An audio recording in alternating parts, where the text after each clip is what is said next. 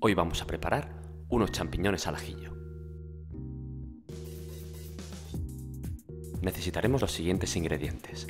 Medio kilo de champiñones, 6 ajos, perejil fresco, medio vaso de vino blanco, pimienta negra molida, aceite de oliva y sal. Debajo de un chorro de agua cortamos la parte inferior del pie del champiñón.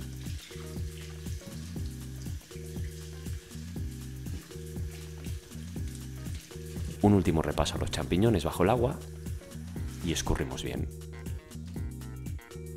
Cortamos los champiñones a cuartos, primero cortando por la mitad y nuevamente por la mitad.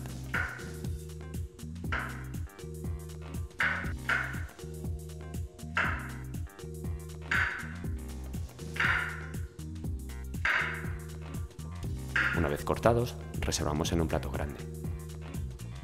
Ponemos el cuchillo plano y chafamos ligeramente los ajos para pelarlos fácilmente.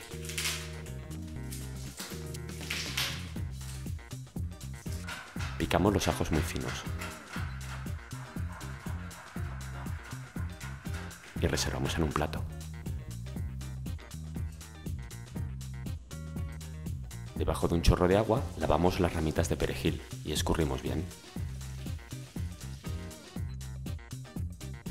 De cada ramita, la clave es quedarse solo con las hojas, de manera que seleccionamos aquellas que mejor aspecto tengan. Fijaros, Picamos el perejil muy fino.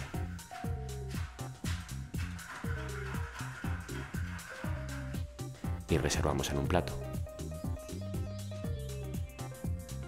En una sartén a temperatura media alta agregamos un buen chorro de aceite y cuando esté caliente agregamos los champiñones y damos unas vueltas.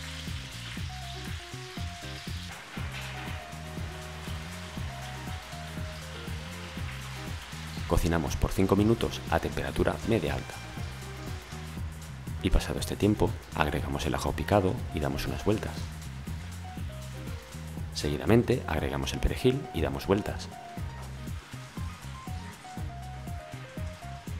Mantenemos la temperatura y cocinamos por 5 minutos más.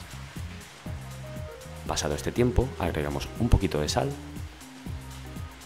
y seguidamente agregamos pimienta molida al gusto. Finalmente agregamos el vaso de vino blanco.